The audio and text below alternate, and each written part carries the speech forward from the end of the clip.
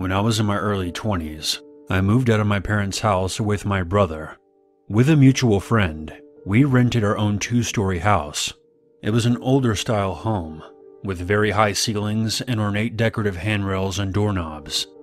It wasn't until after we moved in that we learned that at one point the house was used as a funeral home, and out in the detached garage was where bodies used to be stored and prepared for display.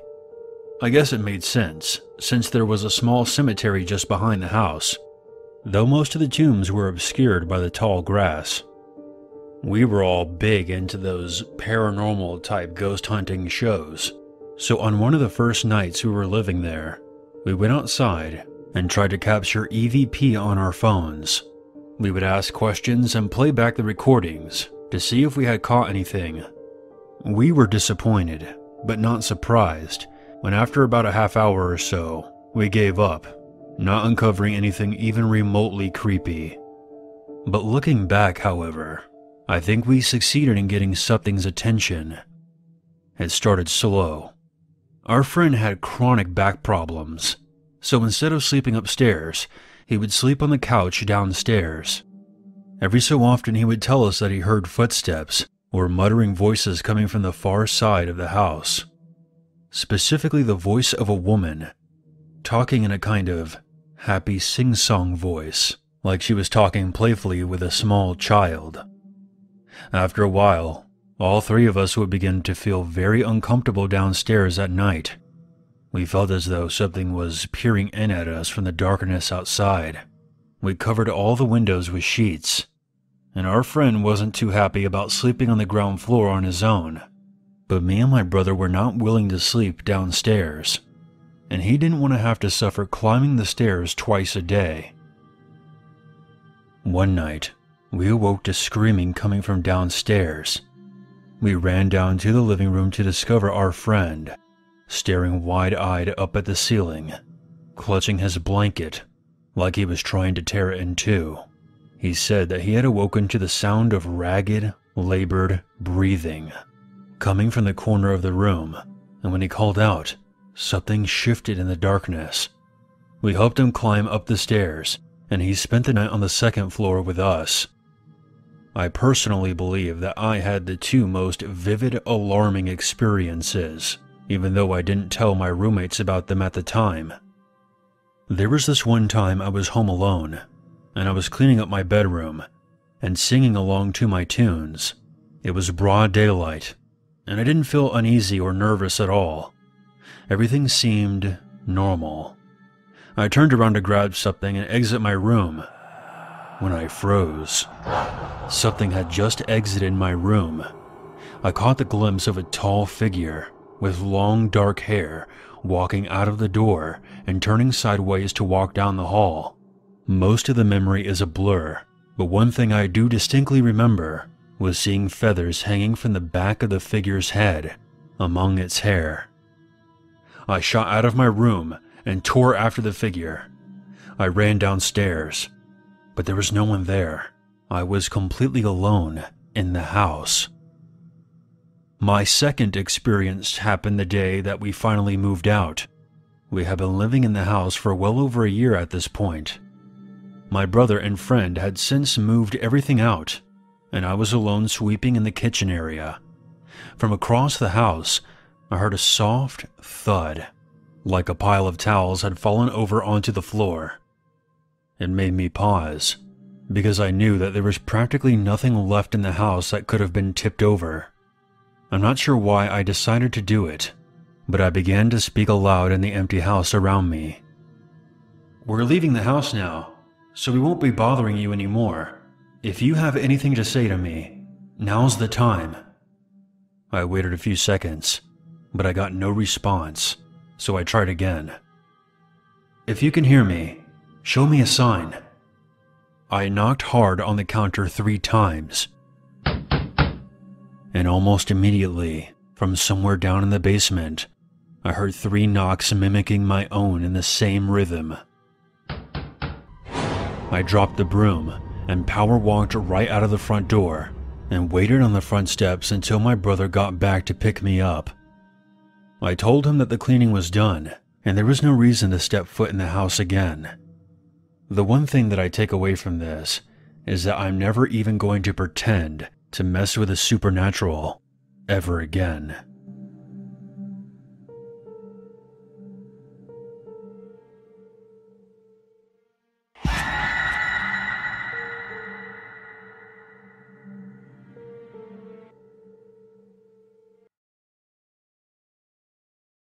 I started a tech job with an IP DT1 long distance company. The company is no longer around, and honestly, I don't know how they stayed in business as long as they did. It was really a pyramid scam, but thankfully I was on the IT side of things so I didn't have to sell anything. It was a small typical tech support call center. The customers would call in, or Verizon, Qwest, etc. would call in and say DT1 lines were down or outages. I was the only female on my team, having to prove myself and show that I can do anything my male counterparts could. It didn't take long and the customers respected me for being able to handle things. After making my mark, I decided to take the 10 hour night shifts. I worked Wednesday through Saturday from 1 p.m. to 12 a.m., an hour lunch, and after 6 p.m., I was completely alone in the whole building. The rush to get out of the office by 6 p.m. was insane. I couldn't blame them, but I decided having three days off was better than two. Like I said, I was by myself for most of the night. I would have to keep an eye on emails and make sure I answered calls. It was a very slow shift.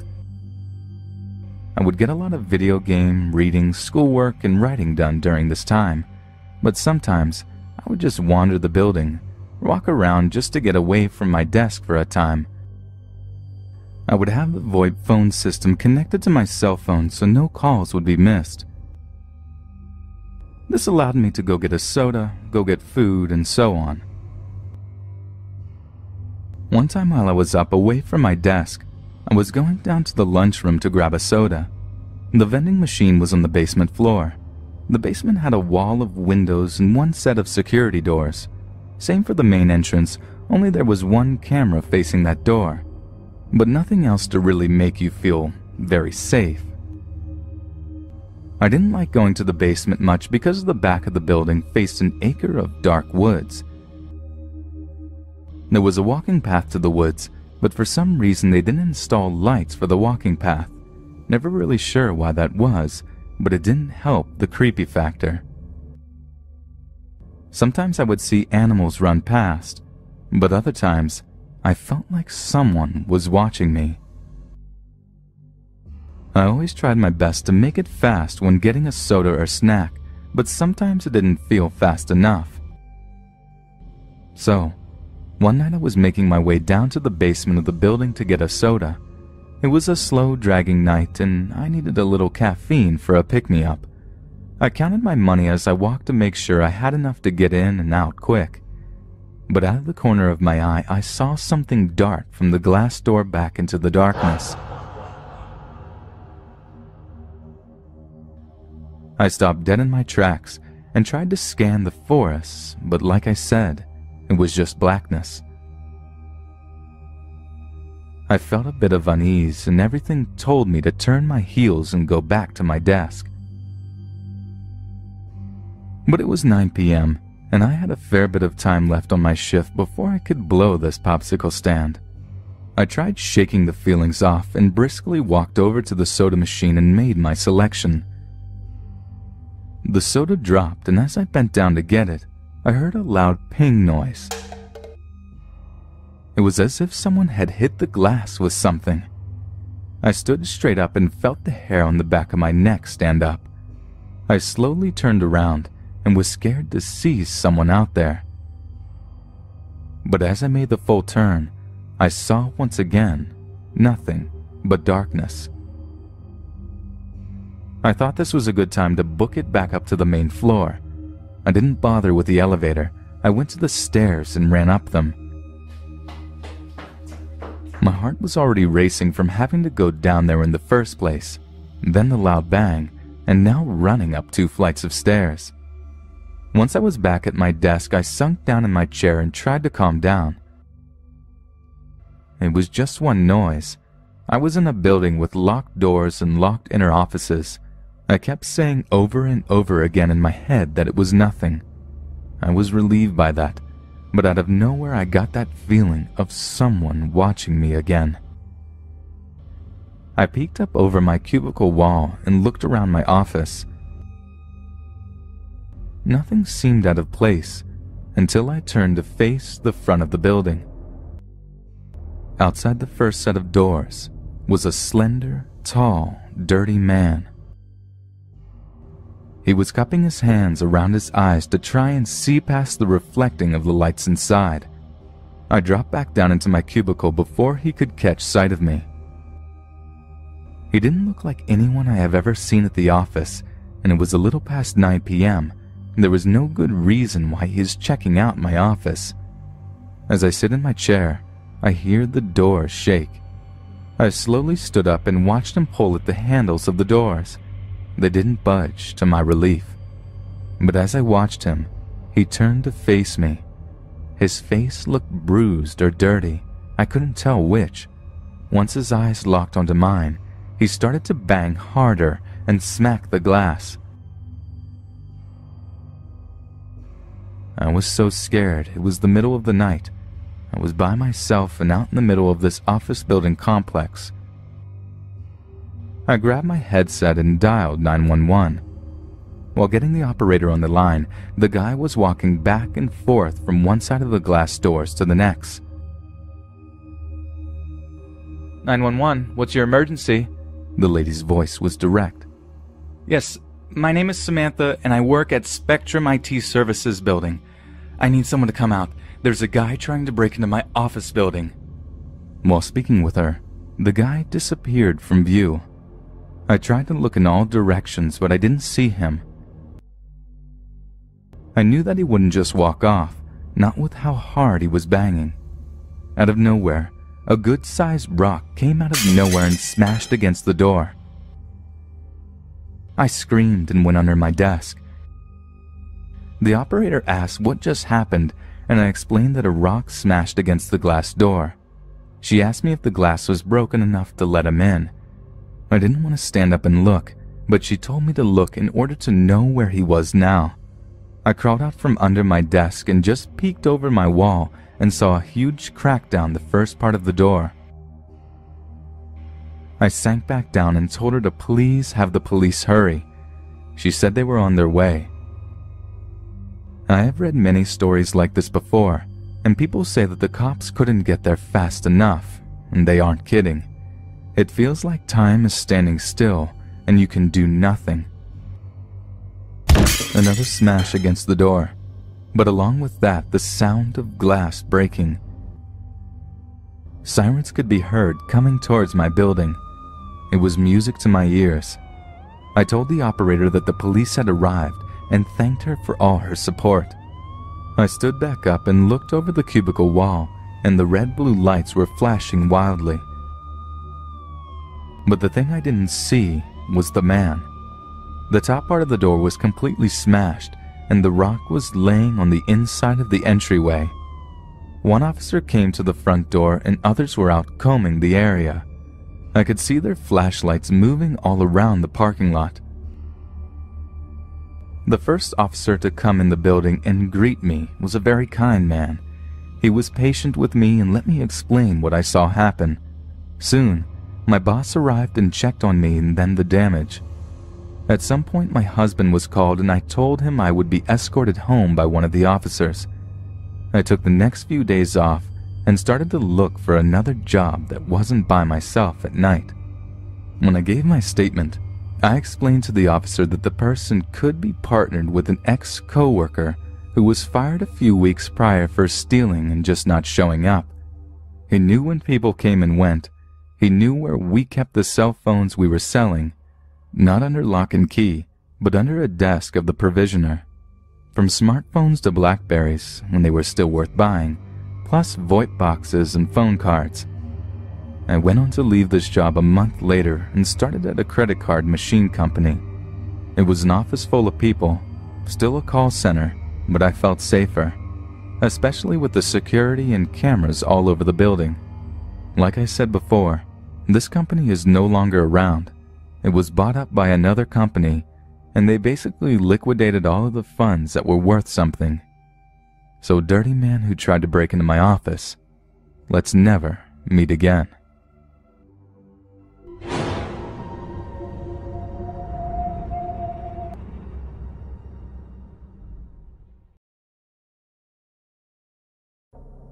I had three really good friends, and their names were Kevin, Ryan, and Tommy. Every summer, our parents would take us on a vacation. We always stayed in a remote cabin in the forest of Minnesota. The cabin was located on a large island in the middle of Lake Vermilion. Eventually, when we were old enough, our parents let us go to the cabin on our own for the first time.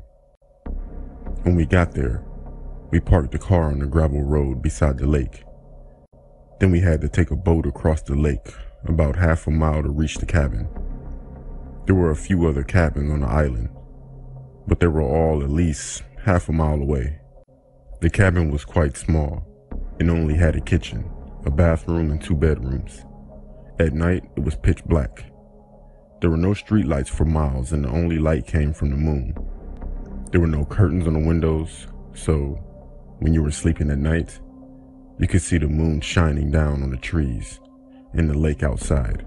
On the third night of our trip, we set up a campfire by the edge of the lake. The moon was full and the pale white glow was shimmering across the lake. We were gazing up at the stars when all of a sudden we heard a splashing sound, as if something was moving about in the water. Ryan suddenly stood up and pointed, saying, What the hell is that? We all looked in the direction he was pointing, peering into the darkness. After a while, I could make out he was pointing at. I'll never forget the feeling of terror that came over me. The hair on the back of my neck stood up, and goosebumps appeared on my arms. I was paralyzed in fear. Out in the middle of the lake, there was a woman's head. It was just floating there on the surface of the water, staring directly at us. She had pale white skin and long black hair. Her hair was matted to her face. The rest of her was submerged or not even there. We tried to tell ourselves that it was just a loon. They are black and white birds that hunt at night, diving deep into the water. It didn't look like a loon, but that's what we tried to convince ourselves it was. We threw some more wood on the fire and tried to forget about it, but it still gave me the creeps. About an hour later, I had to go to the toilet, so I walked down to the edge of the dock and peed into the lake. Looking out over the moonlit lake, I noticed the thing was still there. But now it was much closer. It still looked like the woman's head and it still seemed to be staring right at me. Its face was still extremely pale, as if it hadn't been out in the sun for years, and I could easily make out some facial features. The eyes and the nose. A feeling of incredible unease came over me as I realized it couldn't be a loon. There was no way a loon could just tread water for that long. There were no ripples around it either. It wasn't moving at all. It was just standing there, stiff as a board, submerged in the water. I immediately zipped up my pants and ran back up to the dock to where my friends were, sitting around the campfire. I told them what I'd seen but none of them dared to go down to the dock to take a closer look. We tried to tell ourselves it was just a log or a tree branch, just floating out in the water. I could tell everyone else felt uneasy too. None of us really believed that. We went back into the cabin and we shut the door, locking it behind us. It was very late and we just needed sleep. None of us mentioned the thing in the lake we were all trying to avoid talking about it, honestly. There were no curtains on the windows, and I was getting ready for bed. I couldn't help but taking one last look. Peering out of the window, I could see the lake clearly, illuminated by the full moon. But the thing wasn't there anymore. It had completely vanished. I let out a sigh of relief, thinking it was a log that just floated away or else it sank below the surface. Or perhaps it had been a loon and it finally flown away. It was very hot that night and we had to sleep with the windows open. My friend Tommy and I slept in one bedroom, and my two other friends slept in the other. We left our bedroom doors open. I was finding it hard to sleep, very, very hard. It was the middle of the summer and there wasn't even a slight breeze. The heat was stifling.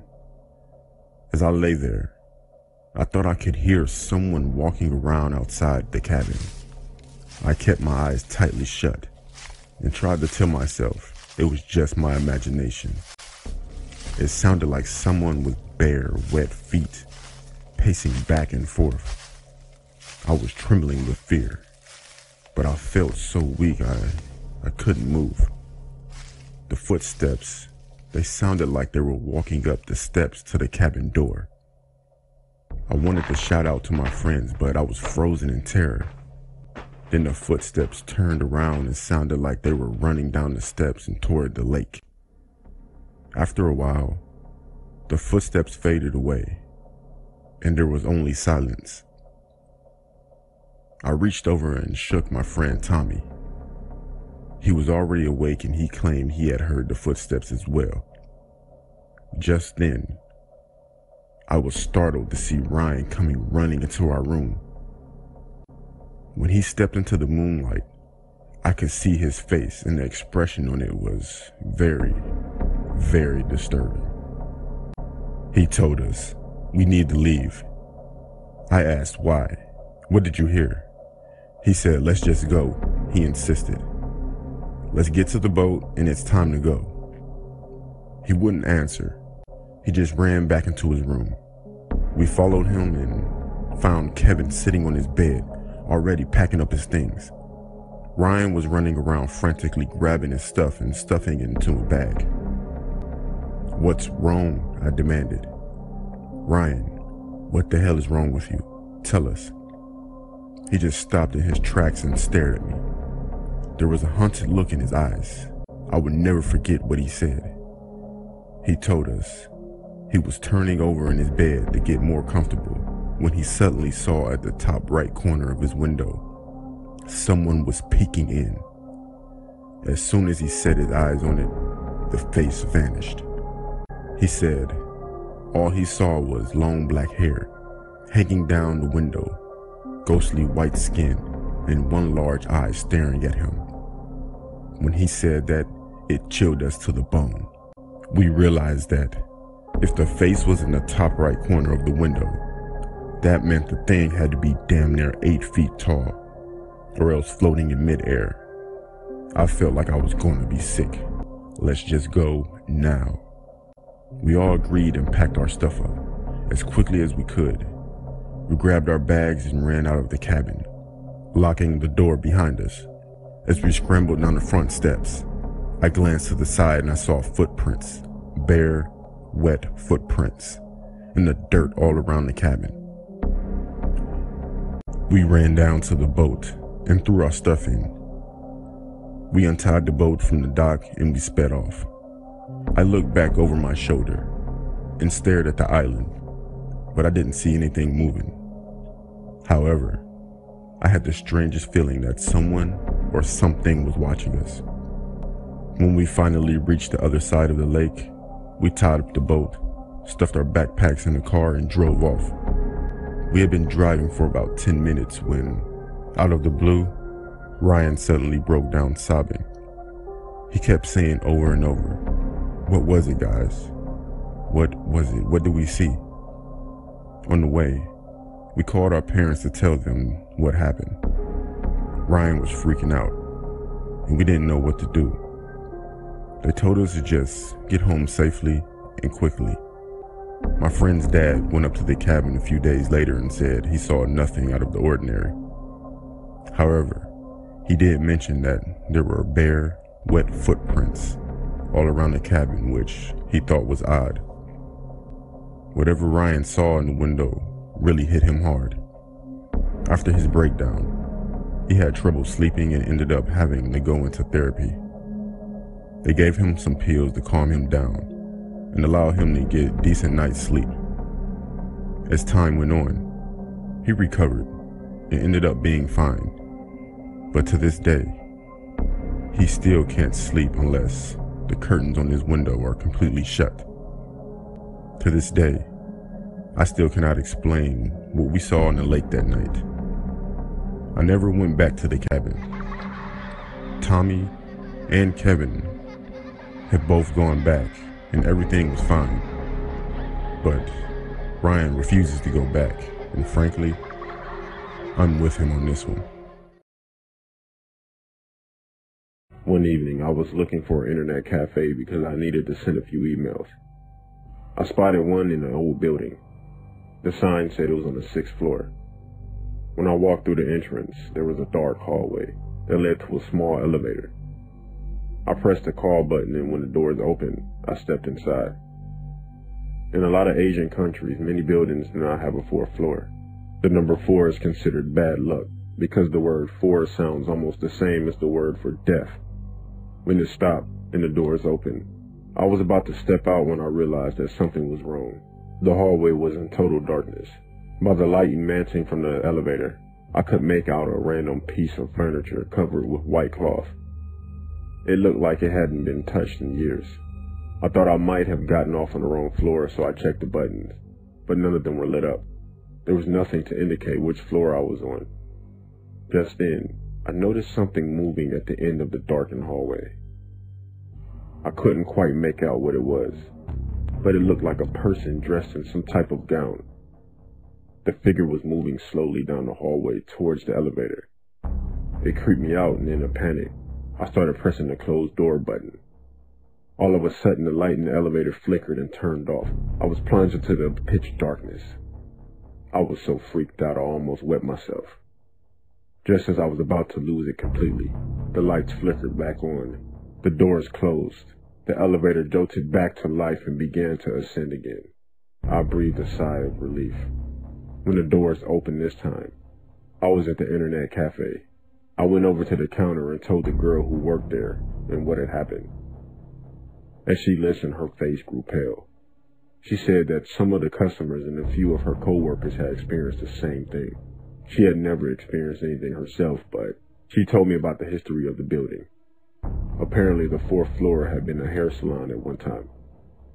It was prospering and doing pretty good until one of the women who worked there killed herself in the salon. Nobody knew the reason why.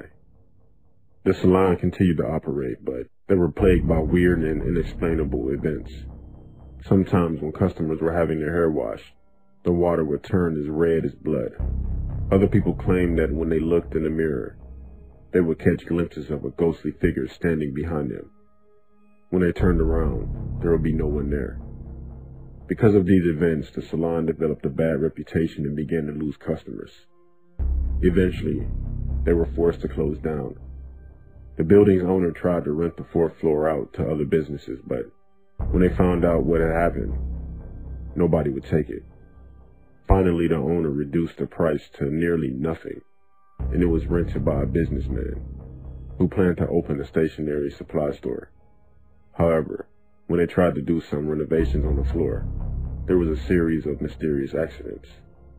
The workmen's tools would sometimes disappear, only to be found in strange places.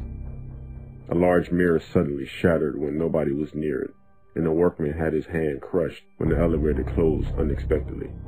Eventually, the workmen were so spooked that they refused to continue.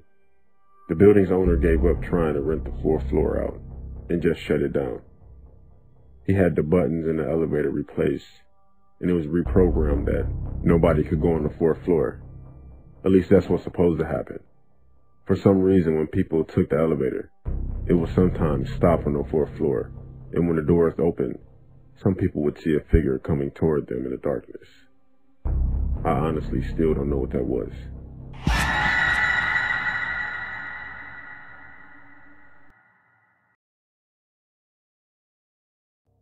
When I was growing up, my dad and I lived with my grandparents. My parents had me while they were teenagers, and my dad got full custody because he lived with my grandparents, and my mom was just living with random friends going from house to house every few weeks. I was the daughter my grandparents never had, and they doted on me.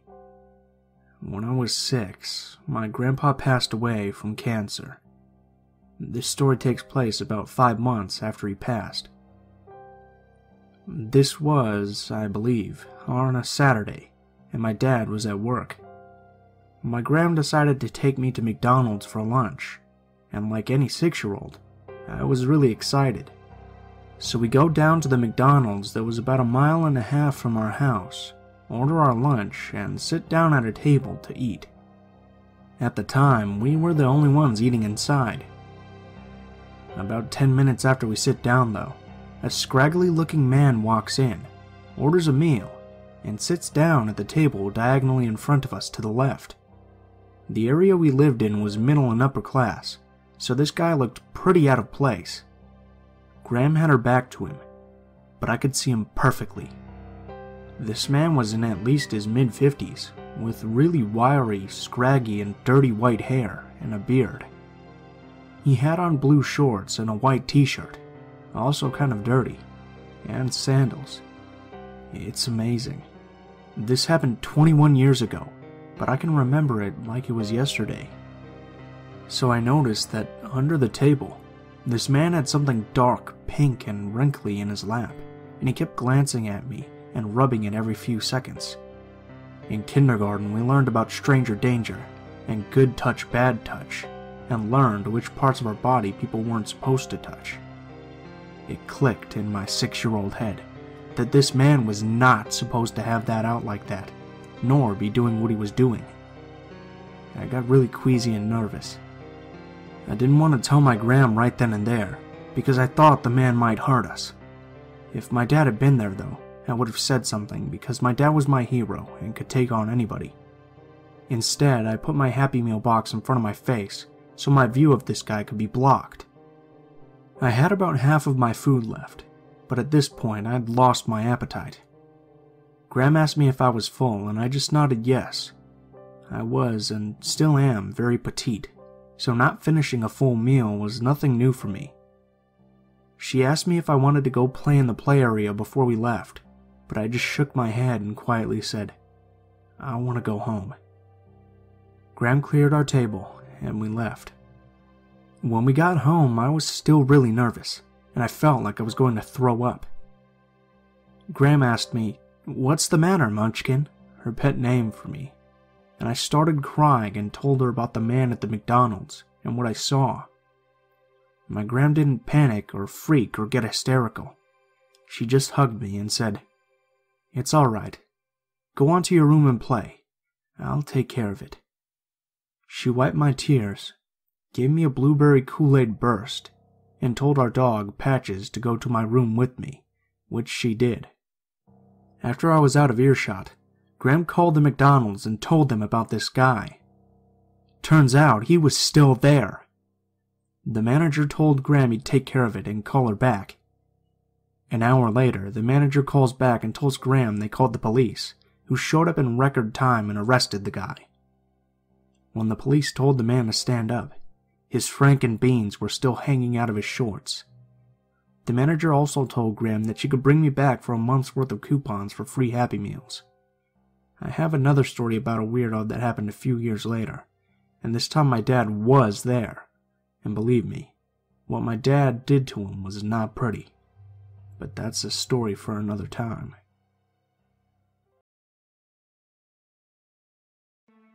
So this happened over the course of a year in the fall of 2005.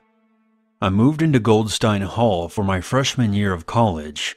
Goldstein Hall was your typical three story dormitory, built in the 60s, and had seen better days. My room was your typical cinder block dorm. It wasn't very fancy, but it was home for the year. I quickly threw myself into the college lifestyle classes, sports, parties, and living on pizza Things were normal at first. My roommate Alex was a very shy kid who liked computers and watching football games. But he was homesick and he spent a lot of time at home, so I would get the room to myself. One day while typing up a paper on my computer, I felt a chill go up my back as my TV suddenly turned on. I was creeped out, but I tried telling myself that I must have accidentally hit the remote button, even though I knew it was on my bed. There were times I would hear knocks at my window, but nobody would be there. Or I would have my door open and see it slam shut, as though it had been hit with a gust of wind. One day I came home to find my radio was on, even though I knew I had turned it off when I left for classes that day. I would see books being out of place, and there was this one time that my Phillies baseball cap, that I couldn't find for a week, suddenly appeared on top of my computer. Every once in a while, I would smell the strong smell of cologne in my room, despite the fact that I don't wear cologne, and Alex was almost never in the room. Each time something weird happened, I always tried to explain it away to myself, with less and less success. The weirdest incident of that semester happened when Alex and I were sitting in the dorm, watching Thursday night football. When out of nowhere, our microwave came on for about five seconds and then stopped. Alex and I looked at each other for a moment, not saying a word. Then we went back to just watching the game. He wound up skipping his Friday morning classes and immediately went home the next day. The end of the semester came, and Alex decided that he was going to transfer out of the school. I wasn't too surprised, because I knew that he wasn't really into going here. After finals, I decided to be nice and help Alex load up his car. My family wasn't going to pick me up for winter break until the next day, so I had no problem with helping the guy move out. We had just finished packing up Alex's car in the parking lot, and we started to say our goodbyes, when Alex suddenly looked at me with a serious expression on his face. He then said, I don't know how you can stand being in that room. You know what I'm talking about. I then let out a deep breath. yeah, I know. I'll be fine. We then shook hands, and I watched Alex leave Goldstein Hall for the last time. Luckily, nothing weird happened that night, and over winter break, I managed to convince myself that I was just having an overactive imagination. The new semester started in mid January of 2006, and I was excited for my new roommate. This time it was a guy named Matthew, who was redshirting for the football team. Matthew was pretty nice, although I didn't have a lot in common with him. Matthew stayed for about the first week of classes, and then immediately switched to another dorm. He didn't even say a word to me about it. I came home from classes one day, and all of his stuff was gone. When Matthew left, all the strange stuff that had been going on in the previous semester started up again. I was willing to deal with the weirdness of the room, because I liked having a double room to myself for the price of a single room. As a means to cope, I started drinking more. Hey, I was 19 at the time. I learned to ignore it when a weird chill went around the room, or when my favorite sweater would be on my bed instead of in my closet where I had left it, or when I would fall asleep in my bunk bed and hear rustling on the bunk above me, even though it should have been empty. Denial is a beautiful thing. The year eventually started to wind down, and in early April, I wound up getting really drunk at a lacrosse party. And we're talking really drunk, like just short of being hospital drunk. My friends Mason and Ryan walked me home that night, and I remember them helping me get into my bed and placing a trash can right next to it just in case I got sick. I then fell into a deep, drunken sleep. Suddenly, I felt water splash across my face. A guy that I didn't recognize stood over me, holding a water bottle. From what I could make out in the dark, he was a short, stocky guy with blonde hair and brown eyes. He yelled at me that there was a fire and that I needed to get out of the building. Confused as to how he got into my room and still being pretty drunk, I somehow managed to grab my phone and stumble out of the building with the fire alarm blaring and the sprinklers going off. The guy was right behind me until I lost him in the crowd of residents and RAs who were standing in the parking lot in front of the building, waiting for the fire trucks to arrive. It turned out that some genius in his drunken state tried to set off firecrackers in the common area on the second floor, which started the fire. We were allowed to move back in two weeks later, after all the water damage was repaired. When I got back, nothing happened in that dorm for the last two weeks. I tried looking for the guy that had woken me up in the dorm, but I couldn't find him anywhere. And eventually the year was over, and I left that dorm for good. Fast forward to about Halloween weekend, 2006. I moved back home and switched to commuting to school because, frankly, I had had enough of the dorm life experience. I made friends with a kid in my drama class named John. John was your typical theater nerd, and we got along pretty well. That Saturday afternoon, we were working together in the library for a test. Given that it was Halloween weekend, John and I started talking about our weird experiences. That's when I mentioned that I had been subjected to weird occurrences at Goldstein Hall. John looked at me dead in the eye and said, You know that's where a kid died back in the 80s, right? My uncle who went here at the time told me about it. John went on to tell me that in April of 1986, a group of guys who were in a frat decided to set off a smoke bomb inside the common area on the second floor of Goldstein Hall. It started a fire that quickly got out of control, and a student died. He was found in his dorm on the first floor, apparently dying of smoke inhalation while trying to escape. Naturally, the story spooked me, and feeling immensely curious, I asked John if he wanted to look up the yearbook archives that were in the library. He agreed, and we were able to find the 1986 yearbook. I thumbed through the yearbook and then froze when I found what I knew I was going to find. There was a memorial page to the fire victim, Kevin W. Anderson, born August 15, 1967, and died April 6, 1986. The smiling photo of Kevin looked exactly like the guy who had woken me up in my dorm the night of the fire.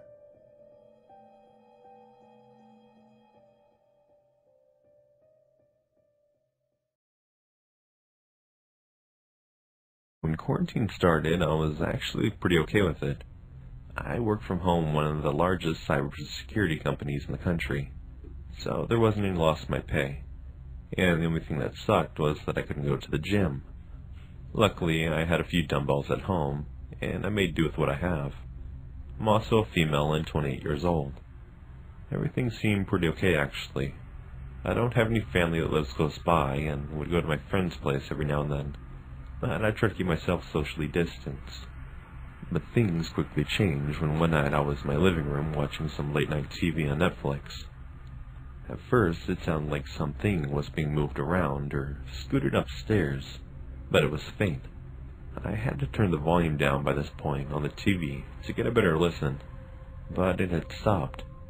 I chalked it up to my imagination playing tricks on me, and turned back on the TV but almost as soon as I continued watching, the sound started again, but this time a little louder. That's when I decided to check my security camera on my phone. I went room by room, and I still didn't see anything. Now, these are not the best cameras in the world by any means, and they do have night vision built in and motion detection. They even record for a short while when they notice movement. So after that, I decided it was probably something outside and went to bed shortly after. After I woke up, I forgot all about the last night, and continued my day as usual. I went online for a few hours to do my work, had some coffee, and did my little at-home workout. And lately around 2 p.m. I will go for a run for about an hour to get out of the house and stretch my legs. After my run, I get back home and decide to take a shower. But that's when I noticed the floor of my bathtub was wet, and I hadn't taken a shower the night before but everything else in the bathroom looked normal. None of my towels had been touched from what I could tell. I looked around my house again, and everything seemed normal. But as I went back to take a shower and get the water started, my phone security alert went off. I was already half naked at this point, and when I opened the app, my jaw almost hit the floor. From what I could see, it looked like maybe a man in his late 40s in my guest bedroom coming out of the closet.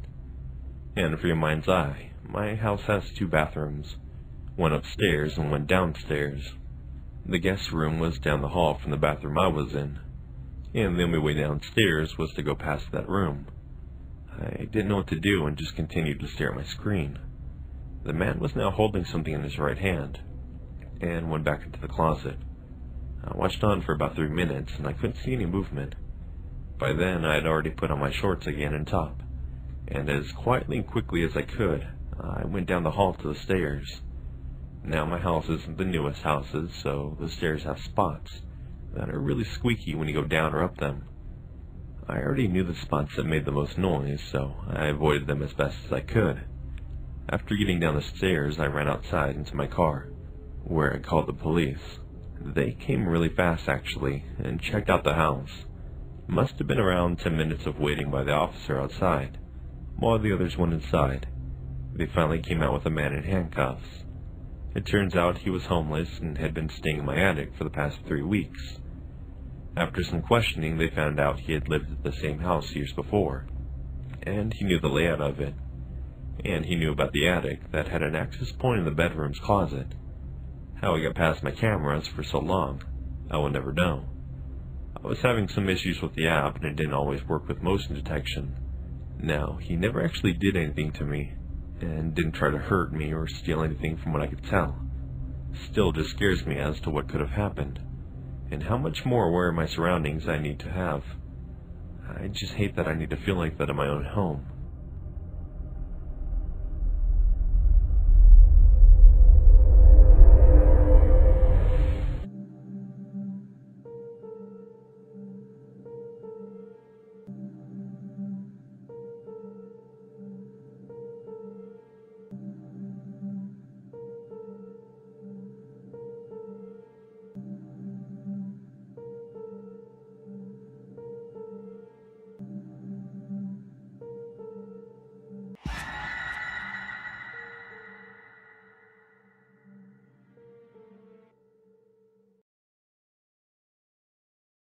I'm of the ripe old age of 91, so as you can probably guess, we're going to have to go back quite a few years for this story.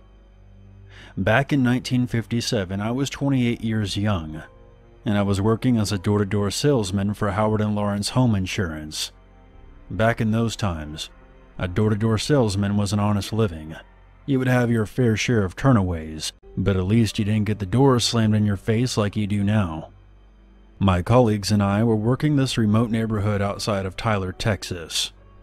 We would take turns knocking on doors, trying to sell the good people of Texas homeowners insurance policies. Our initial sweeps of the neighborhood were unsuccessful, but I was ambitious. At this time in my life, I had been married for a year, and my eldest was only six months old, so that commission pay I would receive by closing a deal was a priority for me. There was this two story cypress house with some horse stables out front. It stood out to me because most of the dwellings up to this point had been for simple living, and the owners of this place looked like they were better off, as it were. So I viewed it as a golden opportunity. As I was approaching the house, I got this unnerving feeling deep inside.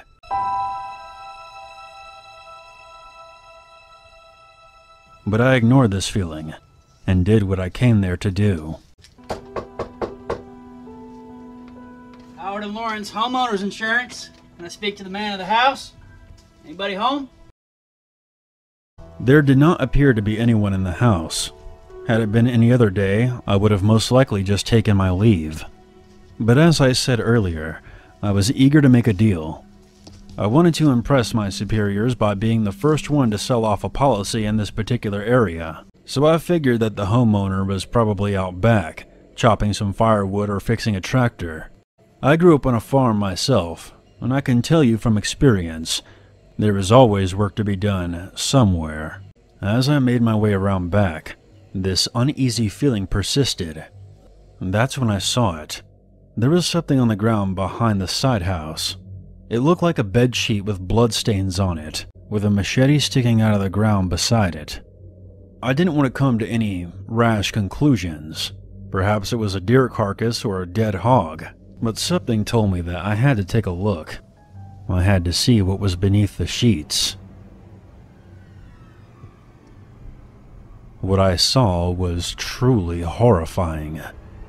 In utter shock, I stood and turned, and that's when I saw him. In a panic, I made a break for it.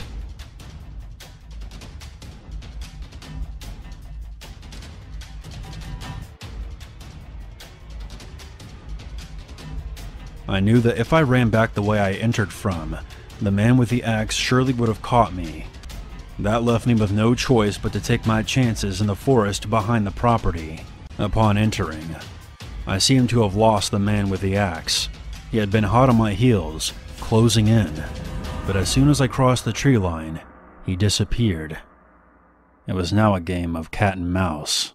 While I was wandering aimlessly among the trees, looking over my shoulder every five seconds, I heard another set of footsteps coming from somewhere nearby. So I quickly hid behind this large tree, hoping that the man would pass by so I could discreetly head back in the direction of the house. The man walked right past the tree I was hiding behind. And as I was just about to make my move, the unthinkable happened. I panicked and stupidly went back to my hiding spot. I could now hear the man with the axe closing in. He knew exactly where I was. The only thing I could think to do was just to bow my head and pray. This man would most definitely bury that hatchet into my head, but it was my own fear that was my ultimate downfall. I didn't pray for my life to be spared. I asked God to forgive my sins and watch over my family. I remembered wondering if it would be over quickly. To my surprise, death never came, and I heard footsteps heading away from my hiding place. I got up and saw the man heading back towards the house. I simply didn't understand what was happening. I thought maybe I was already a ghost. But the pounding in my chest told me that I was still very much alive. I didn't know what to make of the situation, so I decided to hide out in these woods a while longer. After about an hour, the Texas heat finally got the best of me, and I eventually backtracked my way to the house. Maybe not the smartest move, but I figured that if the man was going to end me, he already had plenty of opportunity to do so. And besides, I had left my briefcase behind. When I finally made it back there, there was no sign of the man with the axe, or the bloody sheets. There was only a few red stains on the ground next to my briefcase.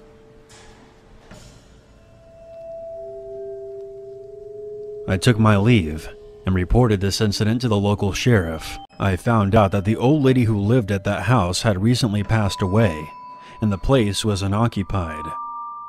The woman's son would come by every day to take care of the horses, but after seeing photos of him, I can say with certainty that he was not the man that I saw that day. The sheriff suggested that who I saw that day had been a poacher who was illegally hunting on that property and me walking around in the Texas sun all day had caused me to see things. There had been no missing persons report filed anywhere around that area, and without a body, there wasn't really much the sheriff could do. Mind you, this was long before the times of forensic science or DNA testing, but I do know what I saw under those bed sheets. Someone had met a very gruesome end. It was ultimately this experience that made me quit being a door to door salesman. I couldn't tell you why the man with the axe didn't kill me. It's something that baffles me to this very day. I'm just grateful that I didn't end up in a bed sheet myself. I'm on mobile, so the format might be a little bit wonky. And just as a reference, I'm a transgender man and use he pronouns now, but to make this story easier, I'm going to refer to myself as a female. At the time, my name was Samantha. This happened to me when I was around 12, so if I'm 20 now, that would make this about 8 years ago. Every summer, I would spend the time with my grandparents, who lived up in the mountains in a very small mountainside town. It was one of those remote little towns where just about everyone knew each other but it was as empty as it was close. We barely had any streetlights at the time, none by my house. You know, that sort of thing. My grandparents were also a tad bit irresponsible. They would often leave me at the house all alone whenever they needed to run errands in the city a few hours away.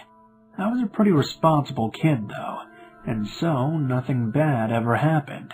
Until one summer evening. One summer's evening, I took a glass of iced tea outside so I could sit on the porch and watch the sun set. I was minding my own business, sitting there all alone, when all of a sudden I heard a voice call out to me. Hey you, little lady. The voice was sort of thick and raspy, like this person had been chain smoking for 40 years straight. I look up, and there's a man at the end of the driveway. To this day, his image is burned into my mind. He was tall. He towered over me at about six foot five, if I had to wager a guess. He was wearing a pair of overalls that were caked in grime and dirt, and what I would later learn to be animal blood. A white wife beater that was torn all to hell, muddy black boots, and somehow a completely pristine silver watch. He was an older man, maybe about fifty or sixty, and his eyes were a sharp blue. His face was so wrinkled up that it reminded me of a walrus. His hair was gray with light streaks of blonde. He had a huge long beard and was mostly balding with long hair to his shoulders wherever he wasn't. He was also missing most of his teeth. If you're wondering how I got such a good look at him, I'll get to that in a moment. I didn't automatically assume the worst, even if this situation was very odd. I sort of replied with a non-committal, yeah? He got closer to me, to the point where we were now only about ten feet apart. Do you have directions to 1234 Forest Lane? he asked.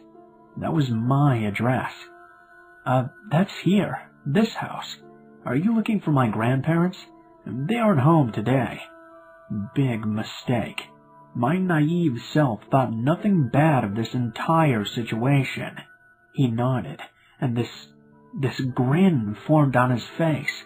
It was positively toothless and genuinely sinister. It was then that it clicked that something wasn't quite right. Good. Very good. The man looked all around. It occurred to me that none of my neighbors were home. Most were out to dinner, or staying late at work. It was a Friday night after all. My stomach sank. The man looked back at me and seemed to scan me up and down. You're a very pretty girl, he said simply. Too pretty to be underage, I reckon. That made me start to shake. I was frozen in my steps, and here is this man who took a few steps closer. He then asked me a question that chilled me to my core, and to this day, it still haunts me. Are you afraid to die, Samantha? He knew my name. I had never seen this man before in my entire life, but somehow he knew my name. That's what scared me the most. I very wisely decided to get the fuck out of Dodge, and I ran into the house, slamming the glass screen door and locking it. A side note, our front door is a sliding glass door. It's weird, I know, he stood maybe about three feet away from the door, and after that we just stared at each other. In my head, I thought, I don't know if any of the other windows or doors are locked. He knew that I was thinking that, and so we stood in a standoff, just staring. I got a very good look at the man, everything from the smallest toe to the very top of his head. Each of us stood there, barely moving, seeming to be in an endless game of red light, green light, and whoever moved first would lose everything. The sun was setting. It felt like an eternity, but in reality we were maybe only there for ten minutes tops. Every thirty seconds, it would get just a little bit darker, and darker, and darker.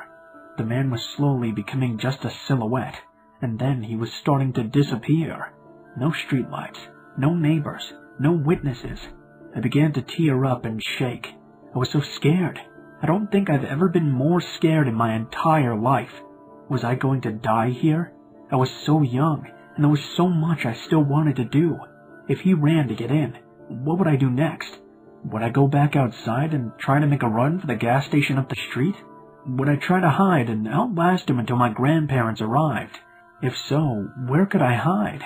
And then, by some grace of God, at that exact moment, my grandparents arrived home. The headlights shined on the man, or at least, that's where he should have been. Somehow, he was already long gone. I ran to my grandparents, sobbing and telling them the entire story. They called the police, but there wasn't much they could do. A few years later, I was at my grandparents' house once again. I woke up from a good night's sleep and wandered off into the kitchen, serving myself some breakfast that my grandma had made. I sat at the table right next to my grandpa. Wordlessly, he handed me the paper that he was reading. Front page, above the fold, there was a mugshot of the man I had encountered that day. He was a butcher in a remote town just a few hours away, convicted for killing and committing necrophilia on the bodies of his wife and three kids, then butchering them into pieces and throwing them out deep into the woods. He apparently was also under investigation for various murders, all of which involved dismemberment. I have no idea if anyone else saw this man or knows about the case off the top of their heads, but if you do, it would be really interesting to hear about and maybe read that news article again. I wouldn't be surprised since this is so fucking sinister in nature. Apparently he only killed women, and if he truly did dismember all those people, I would fit his victim profile to a T. Young female, dark hair, dark eyes, and of native or Hispanic origin. My grandfather took back the newspaper after I was done reading it, and in trying to conceal how shaken he was, he put a hand on my shoulder and said, I'm so happy to have you here, kid. This story starts on a Thursday night in May of 2017. I work in retail, and after a long shift one night, I called an Uber home so I could avoid the dodgy people that hang around the train station. I wish I had known that this simple act of calling for transportation would lead to a six month long ordeal of harassment and obsession. I got into the car and chatted with the middle aged driver, who I'll call T. He had a strong Turkish accent and seemed very friendly. The conversation was normal at first, with him asking where I worked and why I was out so late, what I was studying, etc. As the conversation progressed, though, he began to make comments that started to make me feel uncomfortable. He started to comment on how pretty I was, how young I looked, and how he missed the times when he was young and could get with girls like me. Then he put his hand on my knee and patted it affectionately. He tried to push the hair out of my face. I was very aware that he was controlling a moving vehicle with me in it, so I just ignored him and prayed that we would get to our destination quicker. When he pulled up to our place, he noticed a car was in the driveway and immediately retracted his hand. He asked me if I wanted to go out for a coffee sometime. I politely declined, said that I had a partner. He told me that he was a lucky man and that I could call him any time for a free ride. He then reached out and kissed my hand. I felt physically sick, but thanked him for the ride and hopped out as quickly as I could. As soon as I was inside, I told my boyfriend what had happened, and he encouraged me to report the driver. I was apprehensive at first as he knew our address, but eventually I reported it as I knew we were moving soon. I was reassured by Uber that the matter would be investigated thoroughly and received a full refund for the trip. I didn't hear anything from T after that and was soon busy into my own study schedule, working and moving house. I had forgotten all about him until around August, where by chance I ran into him in our cafe. I was in line to get a coffee when he tapped me on the shoulder. My heart sank. He gave me a big smile and tried to give me a hug, which I declined. Hey, I've missed your pretty face. Where have you been? I'm super busy. Sorry, I can't really talk. I sputtered out. I ordered my coffee hastily and burst out the door with him hot on my trail. He started walking beside me, matching my pace. I was starting to breathe heavily and hyperventilate. Hey, so I could have bought you that coffee. We still need to go on that coffee date sometime. I told him no, I wasn't interested and that he was making me uncomfortable. He grabbed my hand as we were walking. What the fuck are you doing? He replied, Oh, is that too soon? Too soon? Too soon for what? We're not on a date and I'm not interested. Leave me alone. I said this loudly enough for people around me to hear me, and a few people had started to pay attention. Oh, are you a lesbian or something? No, I'm just not interested in you. I was mortified. I had officially lost it and started to cry. Oh, I'm sorry. I didn't mean to upset you. He tried to pat me on the back. I physically flinched and walked away from him, close to having a mental breakdown. He called out behind me as I was leaving. You still work at that shoe store, right? I realized then that I told him where I had worked that night, and that he had picked me up and seen me in uniform. I also told him where and what I studied. I couldn't believe my own stupidity. I alerted my store manager, who then alerted shopping center security. They assured me that they would be on the lookout. Sure enough, my first shift back after the cafe run in, my manager told me that someone had come in asking for my phone number, and when I was next on shift, claiming to be my boyfriend. My manager refused to give this information and immediately notified security, but by the time they arrived, he had already left long ago. They showed me the grainy center security footage of people coming into our store around that time, and sure enough, it was T. I was told that if he came in again to go hide out in the back, and that the other girls on shift would deal with him. A few months later, he even tried to add me on Facebook. I immediately changed my name on Uber so I couldn't be identified anymore. I have a pretty unique name, and blocked him right away. The most recent incident happened in September last year. I was tidying the window display out the front of the store when I immediately felt like I was being watched. I looked to my left, and sure enough, T was there. I pretended not to know him and just said, Can I help you with something, sir? Just admiring your beauty, he said with a smile. He then gave me an envelope and walked out before I could say anything. Inside was a card saying that he really felt a deep connection and thanking me for my help today, even though I never even served him. Inside was a voucher for the local bikini store for $100. I've included photos and blanked out the parts that might give my identity away. Anyways, I realize now is the time to involve the police, and I'm kicking myself for not contacting them in the first place. I haven't heard from him since, and I'm praying that I don't ever hear from him again. Should I still involve the police, even though it's been a while since we last made contact? I was roughly 19 years old when this story occurred. I'm a tall male around 6 foot 1 and I was living with my parents at the time. For reference, I live in a fairly condensed region of my country and luckily for me, I live on the more lavish side of town in a rather large house. However, due to where I am, burglaries and home invasions are not a rare occasion, and I knew at some point it would happen to me, but that didn't make it any less petrifying. My parents wanted to have a romantic weekend away as their jobs have kept them very busy and they felt very much stressed.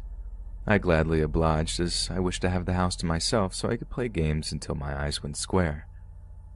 They gave me about 50 euros for food and uh, essentials and quickly sped off to the awaiting taxi. The rest of the afternoon went fairly quickly, and a couple of hours passed, and I'm on my PC with a couple of my mates. I looked over at my bedside table, and my dated alarm clock read 1 a.m. I slowly rubbed my eyes, and I decided I was too tired to continue playing my games. I told my mates that I was heading off, and pressed the power button, listening out for the final sound of the whirring fan to die out. I headed downstairs to get a glass of water, but then, as I was grabbing the glass, I heard a slow, inconsistent tapping over at my window. This obviously confused me as it was so sudden, but the area I live in is known for foxes to try and get in to get food, so I checked the door. It was locked, and headed upstairs. The tapping eventually stopped, and I sighed a long sigh of relief as the sound was beginning to aggravate me. I was lying in my bed, trying to get to sleep, but Roughly half an hour later, I was awoken to the same scratching sounds, but this time it was at my window. Now, I've read enough horror stories and creepypastas to know looking out my curtain was a horrendously horrible idea. However, this was bugging me, so I crept over to my curtain and slowly pulled it back, dreading what was on the other side. My stomach lifted as I was greeted with nothing, but at the same time I closed them, I heard the shatter of glass in the kitchen. I was terrified. I heard the sound of thick, heavy footsteps coming up the stairs. I snapped out of my frozen state and quickly closed and locked my door just as whatever was in my house got to the landing. I rummaged through my drawer for something to defend myself with. I unearthed an old Swiss army knife that my dad gave me when I joined the Scouts years ago. All this time, this person is kicking at my door. I picked up the knife and jumped into my closet. Not too long after, I hear the sound of my door finally giving up and letting this person in. I looked through the gap. I saw a rugged man standing in my room, virtually foaming at the mouth with a rage that I had never seen before. His eyes were bloodshot, a deep crimson, and he was throwing my things, searching for me. I knew I had to act. I finalized on the idea that if this psycho came to my closet, I was going to stab him. He came over to my closet, and I knew the inevitable was going to happen. He pulled open my closet door, and I was greeted with this man who had menace in his eyes. I took no chances and plunged my blade into his chest, penetrating through his bone, letting out a blood-curdling scream before collapsing to the floor. I ran so fast out of my house, I got carpet burn along the bottom of my feet. I rushed to my neighbors as quickly as I could and explained to them the situation, and they called the cops. I stood outside my house as they dragged the ragged man out. Needless to say, I stayed at my neighbor's house, as all this insanity was sorted out. I'm posting this story on a throwaway because I'm embarrassed about how I handled this whole situation, and I don't really want it connected to my real name. I'll start with some background. I'm a 20-year-old college student, and my brother is 17. This story happened over summer, so at the time I was home from college.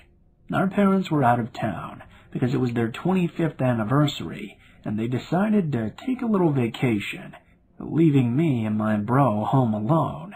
That was fine by us, though. We spent most of the time drinking beer and playing Mario Party. During one of our game sessions, I showed my brother all of these texts I had been getting from a guy that I had gone to high school with. I didn't think much of them.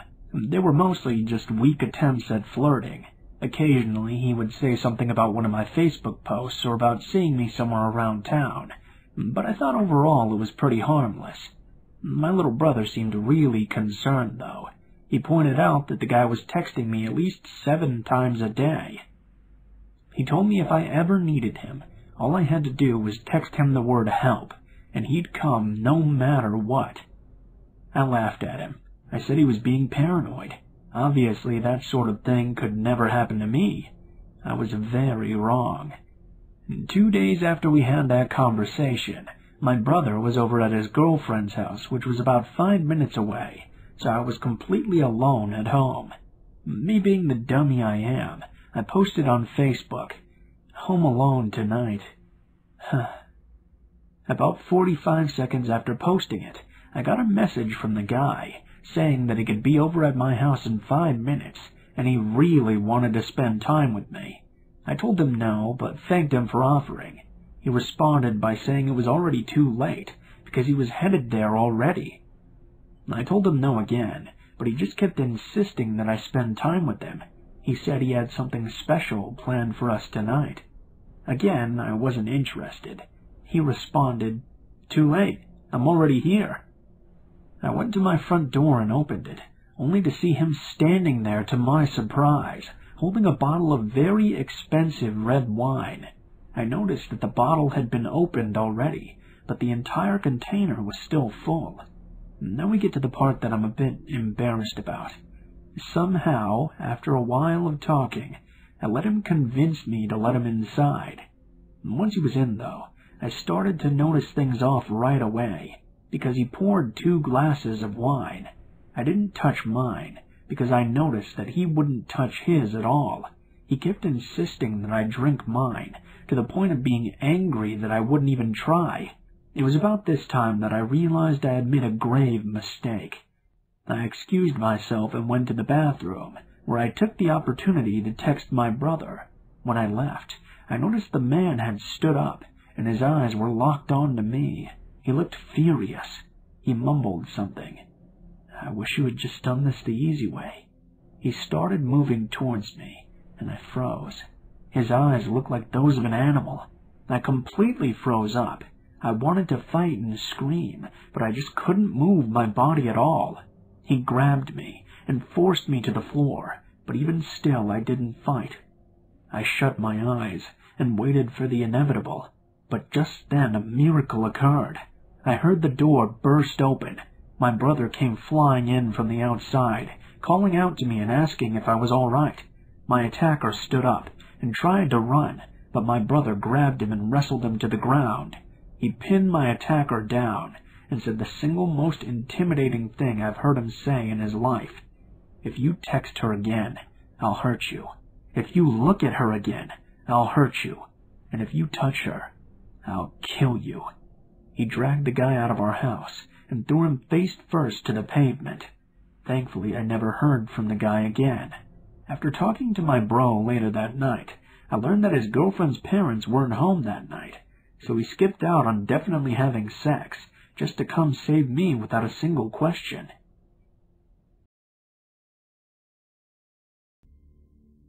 For starters, my name is Rose, and I'm 19. I'm from the Netherlands and I study law. I mainly chose to go to law school because of this occurrence. I was only 16 at the time, I was what the Americans would call a sophomore in high school. I was, and still am, very picky with who I choose to be friends with. So I had about five real friends at the time. This is very important for the story. It all started one night when I decided to go out to the only bar in my town that allowed 16 year olds inside. We weren't allowed to drink, but we had pre gamed, so whatever. It's very common in Holland for teenagers to start drinking at the age of 16, I was out with about three of my friends, and for the sake of the story, I'll call them Jordan, Lisa, and Maddie. I was dating Jordan at this time. He was 19. Jordan brought his younger brother along, who was 16. We will call him Joe. We were all just hanging out and having fun, and I noticed that I got along very well with Joe. In the days following, I started to receive texts from Joe. He was saying stuff like, Hey, let's go out again soon. I brushed it off as him trying to be friendly, as he didn't have a whole lot of friends from what I've heard. Joe and I developed a great friendship over the following months. I came over a lot and hung out with Joe, Jordan, and their parents, and I developed a good bond with them as well. After a few weeks, I began to receive random phone calls. I would pick up and say, Hi, this is Rose. But the person on the other end of the line wouldn't say anything the only thing I would hear was just heavy breathing. I thought it was a prank at first, but when that number called me 30 to 40 times in two hours, I was starting to become a little frightened. I went from calling every once in a while to being called about 60 times a day. I tried blocking the number, but as soon as I did, a new number would call me.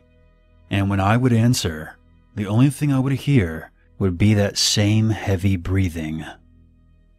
I eventually told my parents, and they thought it was strange, but they didn't take me serious. When I told Jordan, Maddie, and Joe, however, they took it extremely serious. The phone calls eventually stopped for a while, and the whole thing just slowly seeped into the back of my mind, and eventually I rarely ever thought about them. That was until I was out shopping with Maddie I received another phone call. However, I had just recently applied for a job, and I thought it may have been the company calling me. I picked it up, and I immediately felt my heart pounding in my chest as I heard a muffled voice saying, My sweet Rose, you look so gorgeous in your green jacket. It really brings out your blue eyes. I freaked out and started to look around. I was brought out of my initial panic as I heard the voice say, Don't bother. You can't see me, but I can clearly see you. I hung up after that. I took the bus home that day in tears, with Maddie being as freaked out as I was. I told my parents, and yet again, they brushed it off. They told me it was probably a prank phone call. So I was left thinking, if it was just a prank phone call, then why would the caller make sure his number wasn't visible? This went on for months, and I fell into a 24 7 state of paranoia. I was scared to leave the house, and I didn't eat a whole lot, and I would just stay in bed all day if I could. Of course, I had school, and at this time I was getting at least 40 phone calls every day. Jordan, Maddie, and Joe, and eventually my parents, were my biggest supporters through this whole thing.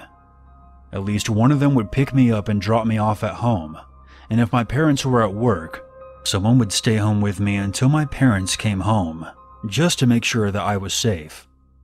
However, things took a turn for the worst when all of my friends started receiving the same phone calls, and the caller also started blowing up my house phone. I would leave my phone at home a lot when I went to school. Either Joe, Jordan, or Maddie would let my parents know where I was. I also started receiving these weird, twisted love letters. One of them read, Hello, Rosie. You looked so beautiful the other day. With all your hair curled up like that, it made me want to cut some of it off. I wish I could just cut your whole beautiful head off. But I can't do that. You would just be too quiet for me. I have thought about it though. Cutting your head off and taking out your eyeballs.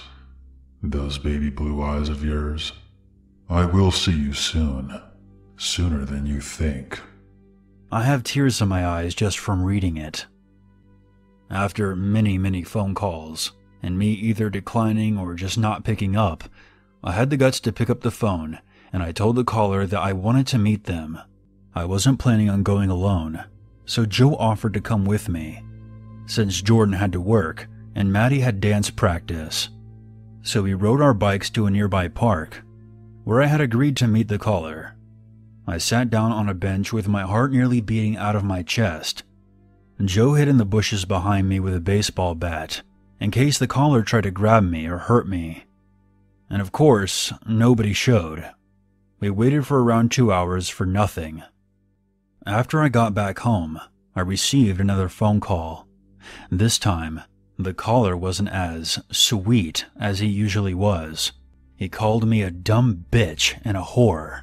He told me that he was disappointed in me for thinking that he was so stupid that he would not notice that I brought Joe along.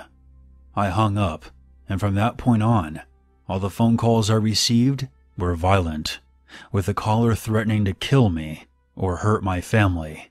He also told me that he was the one for me and that Jordan was just a phase. I went to go grab my bike so I could make my way to the police station, and that's when I noticed that there was a shoebox tied to it. I immediately started to panic. I opened it up, and there was a dead rat inside. I remember screaming at the top of my lungs, and then I broke down crying. With the box still attached to my bike, I took off to the police station. It usually took me about 30 minutes from my house to get to the station. However, on that day, it only took me 15. I gave them my statement, and they took it extremely serious.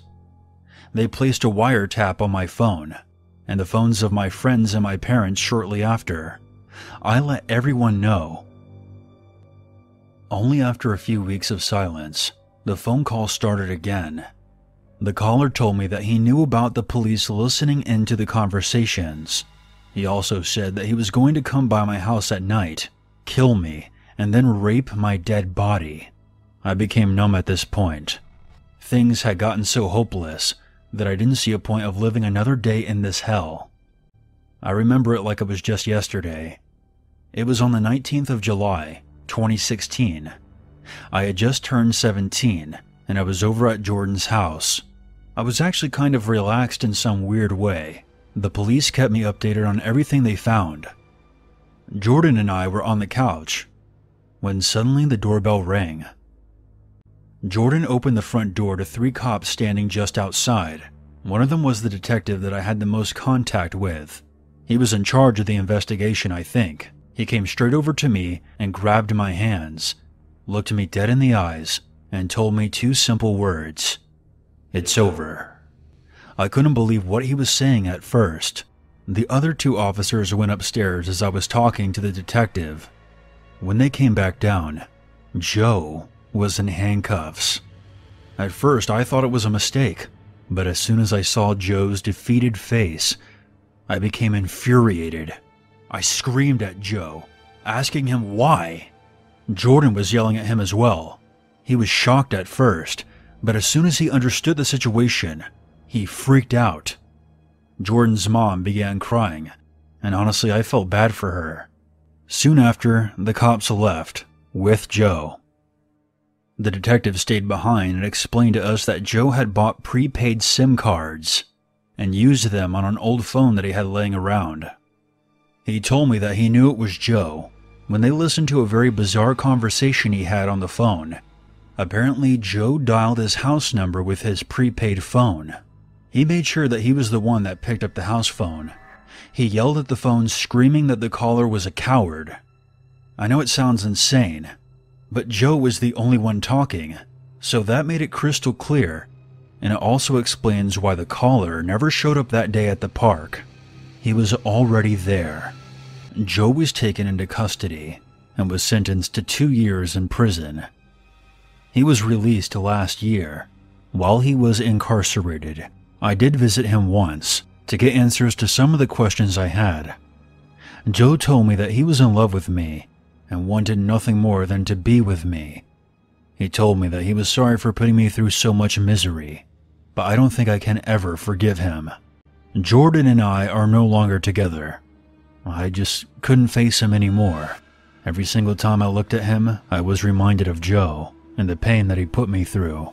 Thankfully, me and Jordan are still on friendly terms. I'm still in therapy because of all of this. I just really don't know how to move forward. The only thing I know for sure is that I never want to see Joe ever again. So, I work at a small McDonald's in an even smaller town in the south, and I've encountered many strange people and seen some fucked up things so far. But I saw something today that I thought I would never see and was shocked at how many people didn't notice or didn't care about what was taking place right next to them. I was working behind the counter at around 7 p.m., and we had lots of people in the lobby, a few children as well. I like kids, so usually I watch them play around in the lobby because they're really cute, but I got distracted by the large amount of customers we had to serve and ignored them for about 15 minutes. I looked back though when I heard a man ask in a small voice, almost whispering, So, how old are you? I turn around to see this extremely tall guy with a shaved head and red shirt talking to a little girl who looked to be about five or six. He had a little boy around the same age on his shoulders who was giggling. They were beautiful children with blonde hair and blue eyes. I saw that they were happy and that the guy seemed friendly, but something in my head was extremely worried. I had a huge suspicion upon seeing this that these kids were not his. What grown man would ask a little girl how old she is? And if he knew who they were, wouldn't he already know? Why would he care? But after this, he said something that made my heart sink. You should come with me now. I have a little brother who's six too. Let's go play with him. He then began to walk to the exit with the boy on his shoulders and the girl tagging along. I immediately shot for the door to stop him, just as a lady with blonde hair came out of the bathroom shouting, Hey, where are you going? Get over here! The tall guy froze with eyes as big as saucers. He was fucking petrified. The lady then scooped up the little girl in her arm and reaches for the boy as the tall guy lets him down, stammering, Oh, I, I was just playing with your kids. They're really nice kids. I just really like kids. All at once, with a nervous smile, the blonde lady then faked a smile back, but still had eyes that clearly said, Stay the fuck away from my children, you fucking creep. But her mouth ended up saying, Oh, Well, I'm glad you had a nice time, but we need to order now. She then led her kids to the back of the restaurant. The tall guy hurried out of the front exit, and the lady clutched her kids close to her the entire time she was there, even in their booth. If I ever see that guy at work again, I will immediately call the cops on him. Who knows what would have happened to those kids if I wasn't looking, or their mother hadn't come out of the bathroom at that very second. I think it's awful that she left her kids unattended in a full restaurant lobby, but no one deserves to lose their children to a disgusting creep with a sick grin like that. This story takes place a few months ago when quarantine started. I was living with my boyfriend and his friend at the time in a not so nice apartment. Now we're all young adults. Me and my boyfriend both 20, and his friend a little older 24. For anonymity's sake, I will call my boyfriend Jake and his friend Steven. Now, me and Jake have been dating for about three years now, and got together in high school. Steven was more of a new friend that we both met at a local comic book store a few months back. Now we all decided to get an apartment together, so we could all move out of our parents' places. It was really great at first. There was no drama, bills were being paid on time, and things seemed pretty nice despite the recent COVID events. But one day when Jake was at the apartment by himself, he hears a loud banging on the door. When he went to check out who it was, there was nobody there. Jake said that it honestly sounded like someone was trying to break down the door from how hard they were knocking. Now, he kind of dismissed this and went back to watching TV. A few nights later, I was at the apartment by myself when I too heard a loud banging at the door, and the sounds of a man's voice outside saying something I couldn't hear too well. I texted Jake telling him about this and what was happening, and that's when he told me about the same situation that happened to him a few days prior. I was honestly pretty scared because of the apartments we live in. A lot of people who are here are either drug addicts or dealers. Now, we don't party or do anything like that, but we also don't make the most money, so this is what we could afford together. I don't think it was necessary to call the police at this point because I don't really like dealing with them in the first place. I'm an African American female and live in a more racist part of Colorado, by the way. I waited for a bit longer, all the while texting my boyfriend. Then the banging stopped. I went to the door to look into the peephole and nobody was there. I didn't actually feel like looking outside because if someone was still there, I didn't want to know their intentions. After a few more hours, Steven comes home after work and tells me that he too had heard loud banging noises while he was in the shower the other day when he was home alone. We don't always get days off together because our work schedules are not set schedules. Now, I'm pretty scared now and I'm on high alert. I don't go anywhere because of the lockdown besides work right now. And this next part kind of sealed the deal with calling the police. Me and Jake were laying down at night. Steven was still at work. And we're watching My Hero Academia on Hulu. All of a sudden, the knocking starts again. But it stops almost as soon as it started. Me and Jake just looked at each other and went to the window by the door to peek out and see. What we saw was four guys standing outside of the apartment door. Now, two of them had hoodies on, and the other two we couldn't get a good look at. I decided to take a picture with my phone just in case I needed to report them to the apartment's office, or the police. Now, this next part was kind of my fuck up, but as I took the picture, the flash went off. Now, when I tell you my stomach hit the floor, I literally mean it. I jumped down onto the ground and clenched my teeth together, while Jake looked at me with wide eyes. The guys outside had to have seen the flash because it was practically point blank in their faces. The knocks on the door became kicks now, and the guys who were outside were yelling at us to open the door, or else. I feel like a big baby, but I was just screaming for them to stop. Jake, on the other hand, ran to the bedroom, where he grabbed his pistol that his dad had gave him.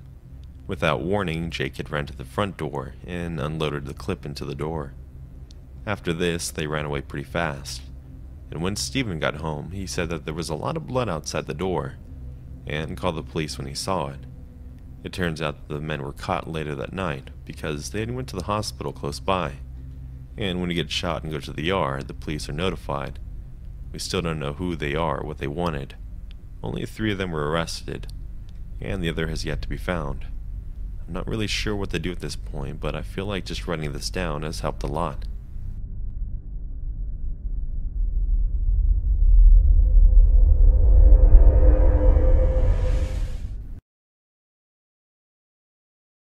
To give some background information, this event occurred a little over a year ago, and I still haven't been able to even begin to get over it. I'm a 22 year old, 5 foot 4 female, and at the time I was 21. My family and I had recently moved to a new town that was a fair amount more rural than the town I had previously lived in. Our house was a large ranch style house with a basement. I was home from college, and my parents had left for the week to celebrate their wedding anniversary with their friends, who lived several hours away. Before I continue, I'll give a quick layout of the house so that you'll be able to imagine the setting a bit more clearly. There were three doors which led into the house one on the front porch, a sliding glass door on the back porch, which did have a lock and floor length curtains for privacy, and another door on the other side of the wall from which my bedroom led into the garage and basement. When you walk out of my bedroom and turn, you can see all the way across the house, through the kitchen, living room, and dining area, to the door of my parents' bedroom and the stairs leading up from the basement. At this point, it had been a few days since my parents had left, and so far I hadn't had any problems. They had sent me a couple of messages on Facebook, letting me know that they had arrived to their friend's house safely and were having a very good time. The day had gone pretty well, and I was sure to check that I had locked all the doors of the house once the sun started to go down. It was about 11 p.m., and I was doing my nightly routine of staying in bed and messing around on the computer when I suddenly got this sinking feeling of dread. It felt as if I was being watched. It was summer, and we didn't have AC, so I had a large box fan in the window, blowing the cool night air into my stiflingly hot room. But once that feeling settled over me, I decided that maybe I should remove the fan and close the window just to be safe. Once removing the fan, shutting and locking the window, and pulling down the curtain, I felt a bit better. However, I still could not shake the feeling of dread. I lay back down in my bed and tried to continue what I was doing, although I never put my headphones back on. After only a few minutes, I began to hear something that sounded like a light scratching. I sat still in bed, listening to the sound and trying to pinpoint what it was and if I recognized the noise at all. Our new house, although relatively close in distance to our neighbors, had a fair amount of forest all around it. I thought the scratching may have been an animal, or just someone's dog that got loose and wanted to come inside. After a few minutes, the scratching stopped, and everything returned to complete silence. At this point, I figured that I was probably right, and that it must have been an animal. My relief was short lived, though, as soon after the scratching stopped, from the other side of the wall, I began to hear footsteps slowly descending into my basement. This is when I knew I was completely fucked. There was no way I could get out of the house without walking past the basement stairs. We didn't have a house phone, and at the time I was in the process of getting a new cell phone because mine was broken beyond repair. I sat there for a few seconds, just wondering what the hell I should do. I knew that I would need to get out of the house as soon as possible, and that the more time I wasted, the worse it would end up being for me. I contemplated popping the screen out of my bedroom window and jumping out, but it was far enough off the ground that there was a good chance I would end up getting hurt if I did so. Not to mention that if I jumped out the window and hurt myself, I wouldn't be able to run for help, and I would be right next to the door that whoever was in my house had just gone in through.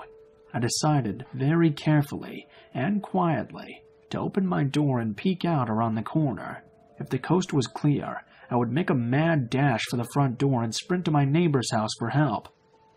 I very slowly opened my bedroom door, letting my eyes adjust to the darkness of the house before creeping around the corner and looking to see if it was safe to make a run for it. What I saw nearly made me vomit. As my eyes scanned the house, I noticed that something was off.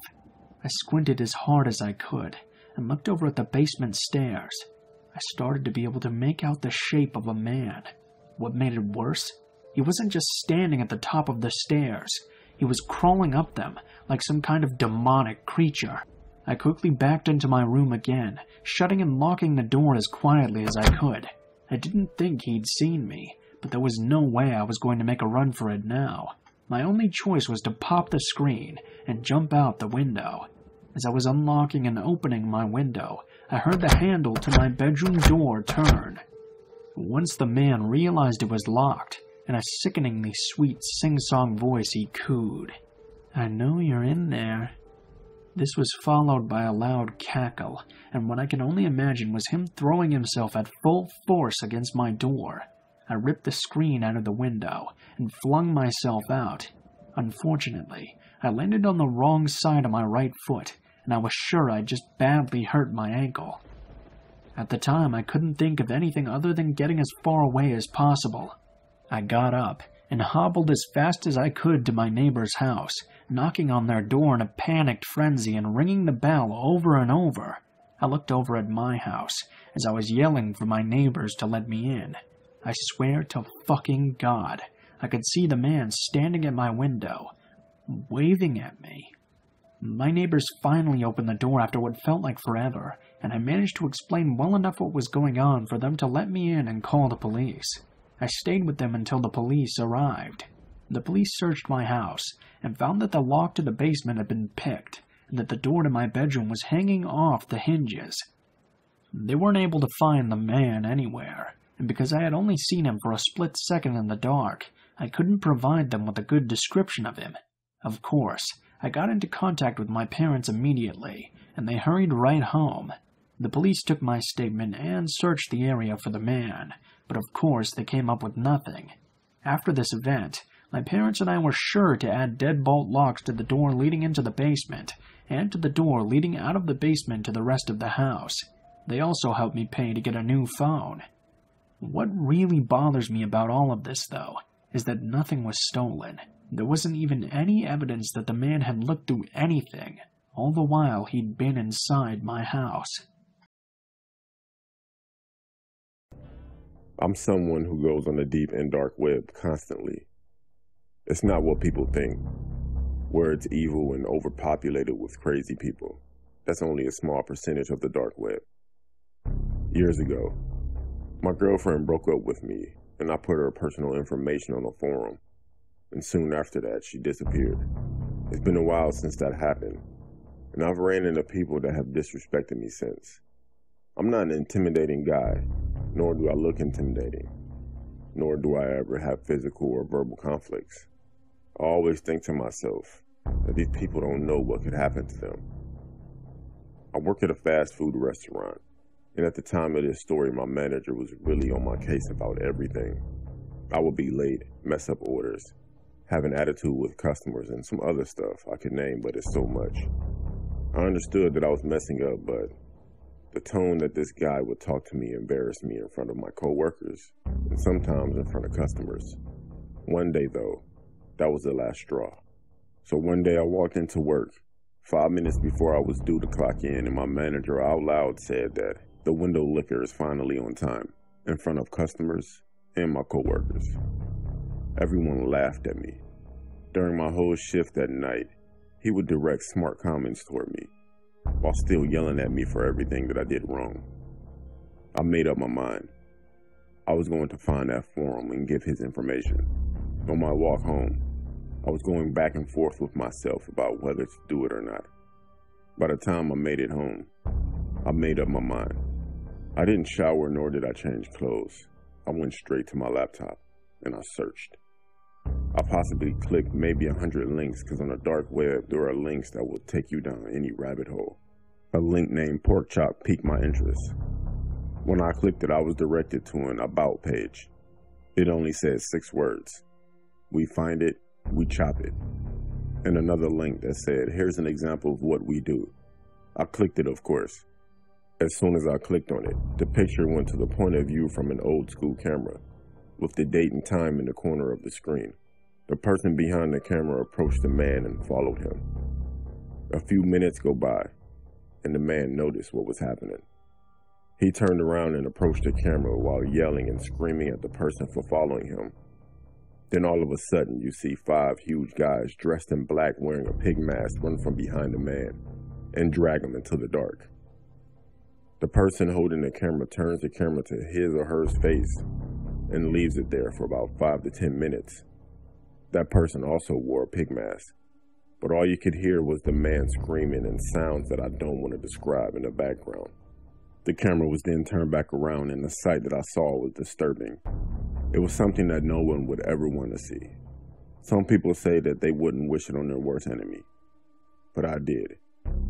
After the video was over, there were links. One said pork and the other said chop. I clicked on the pork and it prompted me to put in a code. I didn't have one, so I backed out. So I clicked on chop. There was information that needed to be filled out, like name, height, description, and place. I filled out all the info for my manager. In the place, it was my job. I submitted the form. At the end of the screen, it said, See you soon. Four days later, while at work, my manager approached me and decided to apologize for the way he treated me and offered to give me more hours and said that he will work with me more often because he sees potential in me. A few hours later, it was close to the end of the night. My manager helped me with the trash and took it out for me. As I were putting chairs on top of the table getting ready to mop, I looked outside and saw my manager looking over at something, but he looked worried. I moved to get a better look and I saw what he was looking at. He was surrounded by six people in a pig mask with weapons in their hands. I ran outside as they swarmed him, except for one person. He had a camera. I forgot all about these guys, and then I put his information on the website. I ran outside as they approached him. He looked at me for help, but I ran back inside and called the police. It took them 10 minutes to get there. When I looked back outside, what I saw was the most disgusting thing I've ever seen. I wish I can get the image out of my head. Between the time of me initially seeing them, calling the cops, and running back outside, these guys were gone. But my manager was still there. I went to his funeral the next week. The next day, I received an anonymous email that had the whole video. They were watching him this whole time he was on shift. I don't know how they got my email. I never provided any of my information. Till this day, I still feel sick because my manager was starting to be nice to me that day. I can't go back on the dark web.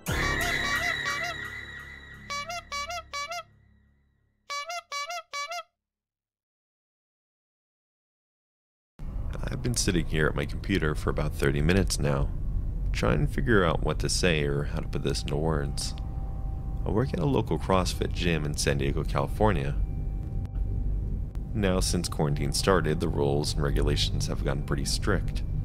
We do the best we can to keep everything clean and everyone at least six feet apart, but they still shut us down. So it's just been me by myself at the gym a few hours a day to do maintenance in the building and equipment.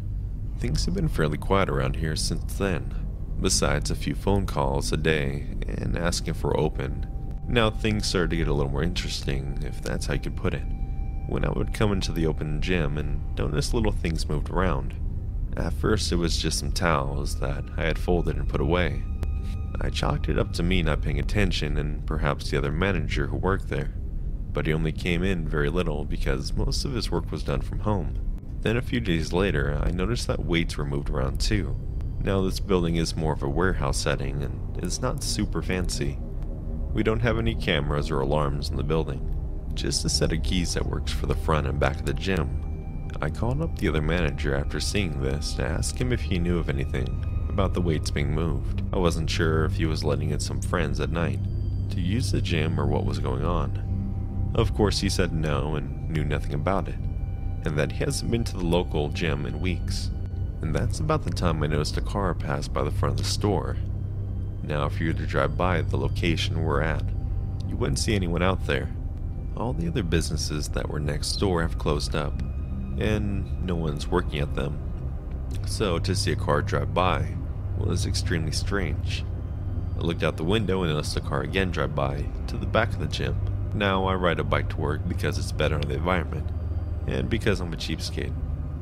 So nobody would tell that anyone's at the store, unless you called or went right to the front door and looked inside the windows.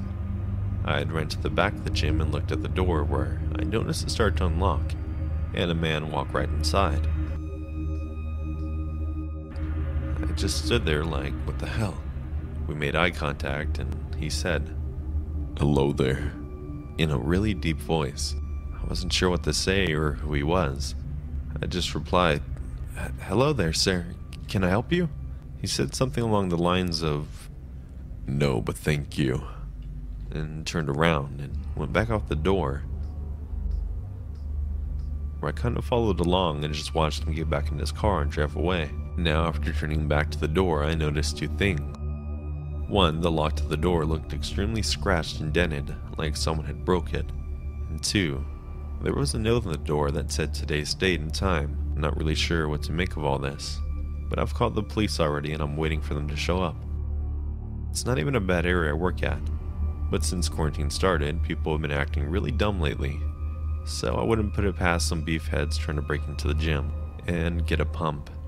Anyways, that's my story. I'll update you guys if anything changes or more happens.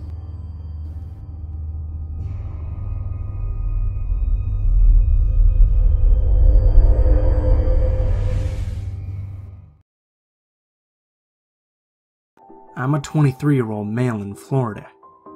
Fairly introverted, and I hardly get out of the house. This encounter happened a few months ago. It was about 12 a.m., and I was getting a bit stir crazy and needed to get out and just chill with someone. So I texted a special lady friend of mine. We made plans to do our normal routine of hanging out at this nice secluded park. I went and picked her up. We drove past our spawn and spent a couple of hours just chatting about anything and everything. Then she got hungry, so we decided to hop in the car and drive down the road a bit to McDonald's. Hooray for 24 7 fast food. This is where things started getting weird, though. We arrived at the McDonald's and went inside instead of through the drive through. She ordered her food while I went to the restroom to wash my hands. I'm a bit of a neat freak. I really wish I hadn't gone into the restroom that night. As soon as I walked in, I saw this guy standing at one of those heater dryer things. Alright, not too weird. But then I noticed that he was kind of hunched over at it and wasn't moving. Whatever, I chose to ignore him. I washed my hands, but then I realized that he's standing at the only dryer in the place. And the damn paper towels are also empty. So I awkwardly try to ask the guy if he was done using the dryer. He doesn't respond. Thoroughly creeped out, I just walk out and dry my hands on my shirt. I get out of the restroom and find my friend, and we sit down at a table to eat. Maybe 20 minutes go by, and we're headed back out to the car to go back to our spot. Well, my friend has to use the restroom, so I figure I might as well also. I mean, surely that guy had to be gone by now, right? Wrong. That guy is still standing at the dryer, mumbling something to himself now. I go into the stall and take a leak, and I can hear him hitting the button on the dryer over and over again. I wash my hands again and don't even attempt to get at the dryer, but the guy moves just as I'm trying to walk past him. He steps back, right in my path, and just looks at me. I notice he's around my age. He just stares at me and says, Excuse me. Uh, okay. I put my head down and quickly say, Pardon me, and rush around him to get out of the restroom. Thirty seconds later, as I'm waiting for my friend to get out of the ladies' restroom, the guy walks out. He just sits down at a table near me and just staring straight at me. My friend walks out and notices the creep just eyeballing me. She jokingly asks, Make a new friend in there? I just shake my head at her and try to lead her out to the car without making it obvious that I'm wanting to run from the guy. And then he does the weirdest thing. He just starts cackling like a madman. I mean, straight up Joker laugh. I'm thinking to myself, oh shit, this crazy druggy dude is gonna do something bad. He then just stops suddenly, looks down at my feet, and says, Nice shoes, Osiris. Osiris is a brand of shoe, by the way. I manage to stutter, uh, thanks, and I walk away quickly out to the car. As my friend and I are getting in, we notice the guy staring at me from inside the McDonald's, just straight eyeballing me, death stare. He then stands up and starts booking it towards us. He wasn't running, but he was like speed walking. He bursts through both doors of the McDonald's and starts coming right at us. Now he looks angry. I pulled out of the parking lot so fast, it's a damn good thing the roads were empty. My friend and I went back to our spot and hung out some more. Every car we saw in the distance, I kept freaking out, expecting it to be that weird guy following us. My friend teased me about it the entire night, and still teases me about it to this day. About how I made friends with the creeper in the bathroom who liked my shoes. For some context, I'm a 25 year old female and I've been working at my city's hospital for transport for the past couple of years. It can be a chill and sometimes difficult job, but it begins to grow on you over time the longer you work. I work the night shift, so it's not too common for the department I worked for to be packed. I liked working the late shifts as they were mostly slow and much more relaxed. For most nights, you'd have some patients come in for something minor like physical pain or breathing problems. If we got patients who had severe problems like a broken leg or internal bleeding, we'd have to take them to urgent care or the ER. In fact, some can't even make it into the city, so we'd sometimes have the emergency stars helicopter have to drop in once in a while. I've seen some pretty intense things in my whole time working at the hospital. Everything from patients having trouble breathing all the way to people going into a coma. This one particular night, however, I witnessed something I would never forget. It was a slow night as usual, and I was talking with my aide about a patient's chart when somebody walked in through the main doors. My aide had left to go check up on a patient, and I was the only one at the front desk. There was a man. He wore a black shirt, a pair of gym shorts, which didn't make sense as this was during the winter and it was freezing cold outside. He looked to be middle aged, maybe in his mid 30s, but he looked like crap, almost homeless. Messy, unkept hair, a torn shirt, and smelled like marijuana. His eyes were red and his face was pale, and he looked like he didn't even know what he was doing. The hospital was located in a not so great area of my city, so you'd have your occasional creeps come in once in a while. Most of the time, people like this will be high on something and complain about constant dizziness or fibromyalgia from the drugs. He mumbled to me that he had a quote, very bad headache and couldn't control it. I could smell the alcohol in his breath and as much as I wanted to kick him out, our policy stated that we must care for someone who comes in no matter what. Needless to say, I tell him to sit down in one of the chairs in the waiting area, which is right in front of the emergency room. As he turned around to walk toward the waiting area, I noticed something sticking out of his back pocket, and it only took me a few seconds to realize that it was a knife. I didn't want to make it seem like I noticed, and the only security guard that was supposed to be on duty was on his break. The guy then started making strange noises while fidgeting and talking to himself. I had my eyes practically glued to him, and I was just hoping one of my coworkers would come out and call the police as I couldn't page anyone. This guy was big and tall, so there was no way I could fight him off even if I tried. Thankfully, the aide who was working with me had came out and I texted him the whole ordeal. With a shocked look, he steps outside and calls the police and they thankfully arrive within five minutes and arrest the man. The man tried to resist, but it didn't work as he was completely wasted. Now this is the part that still freaks me out. Apparently, an hour before he had came in, he had stabbed somebody in the pelvis working at a gas station. Police had told us that this guy was arrested before for sexual assault and battery. He was charged and was put in jail for 15 years, which in my opinion got the crime. I still work in the same hospital, and nothing has happened ever since.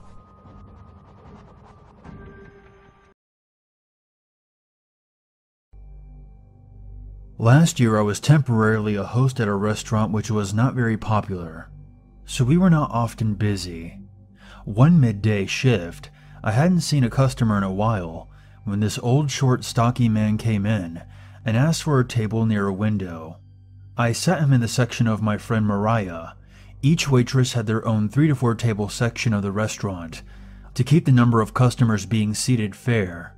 Mariah was college age, and this man was easily around 65 or older. My host stand was close enough to their table to hear the conversation that got weirder by the minute. He kept mentioning that he worked for a towing service. He looked far past retirement age and kept complimenting her.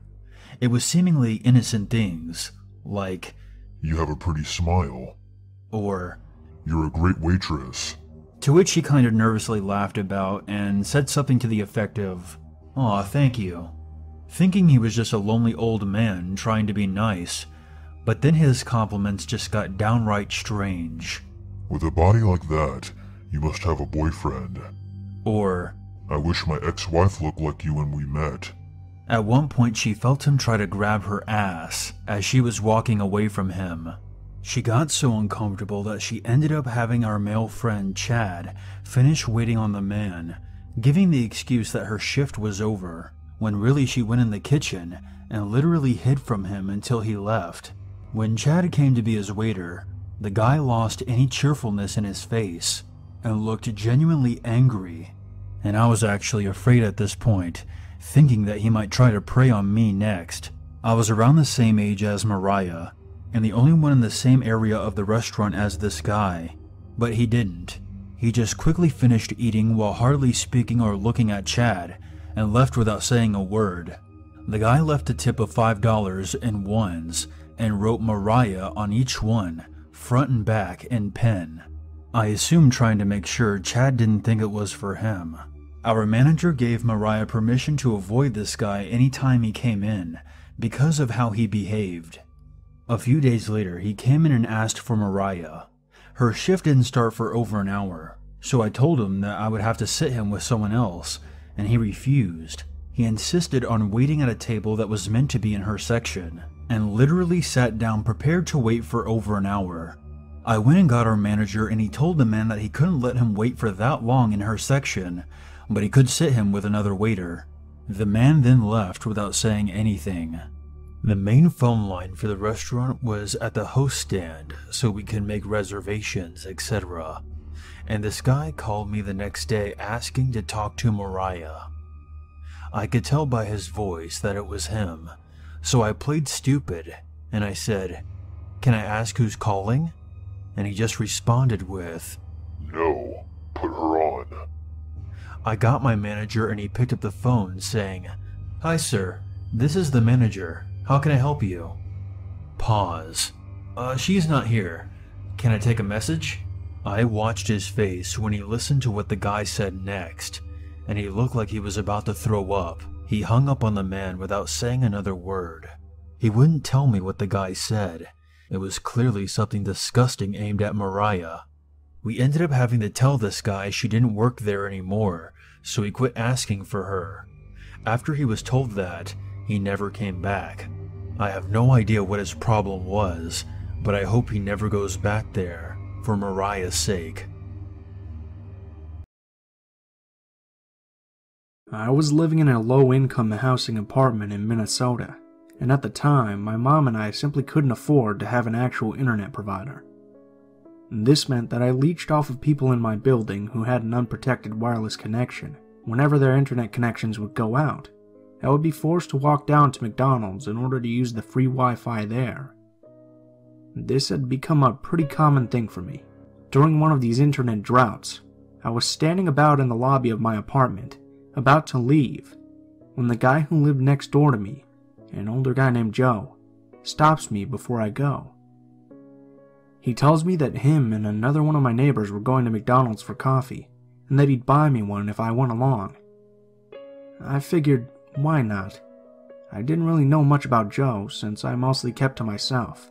Let me explain Joe.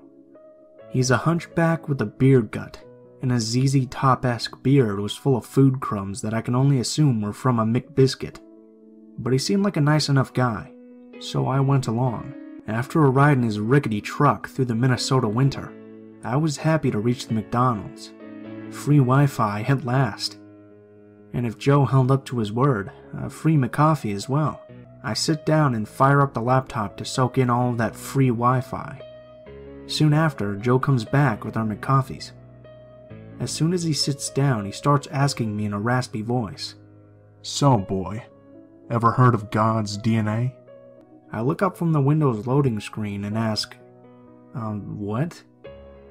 I was totally baffled and thinking, great, stuck with another fucking missionary. He goes on to inform me that God's DNA is the molecules that hold the universe together.